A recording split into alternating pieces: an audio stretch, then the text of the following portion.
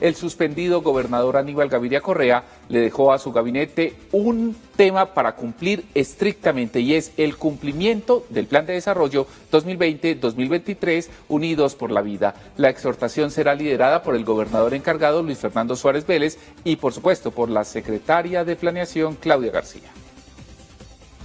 Para los integrantes del gabinete, el camino durante la ausencia de Daniel Gaviria ya está trazado con el plan de desarrollo y darle cumplimiento a sus cinco ejes temáticos, 86 componentes, 166 programas y los 966 indicadores. Es nuestro gran eh, reto esta hoja de ruta que construimos con todos los antioqueños y antioqueñas, que construimos con la Asamblea y lo que hay que hacer en este momento es rodear ese proyecto. Para muchos observadores, este es uno de los planes de desarrollo de Antioquia más ambicioso de los últimos años.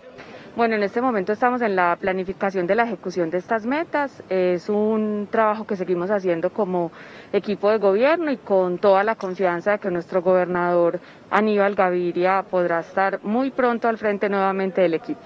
La cuantía definitiva del plan de desarrollo quedó estimada en 25.5 billones de pesos, cifra histórica para nuestro departamento, dentro de la cual se destaca el rubro de inversión social en 18.97 billones de pesos.